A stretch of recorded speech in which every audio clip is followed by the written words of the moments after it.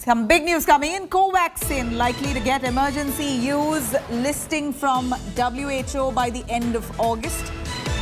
Comes as some relief for all those who've uh, taken Covaxin, wanting to travel abroad. Here now, it's likely that Covaxin will get emergency use approval from WHO as early as end of August.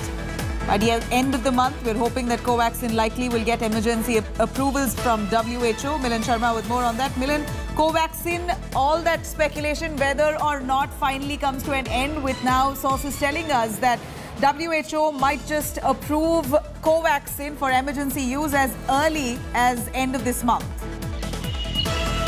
Well, Nabila, that's certainly good news because top sources in the health ministry have informed India today that the emergency use listing for Bharat Biotech's indigenously made vaccine Covaxin could get, uh, uh, you know, the emergency use listing authorization from the WHO by the end of August. So the wait will not be long because previously Bharat Biotech's Covaxin makers had been asked by the WHO to submit all the details and the data as well as the presentation on the emergency use listing has happened.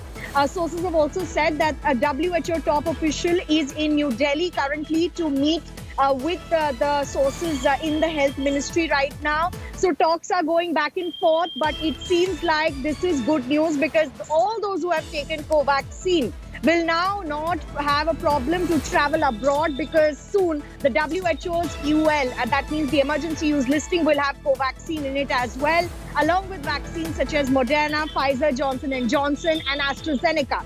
So that is going to be, uh, you know, a big thing for people in India taking Covaxin who not have to worry to travel abroad. However, it also depends on other countries how they uh, allow right. the Covaxin vaccine because Covishield has also been approved by 17 countries only in the European Union.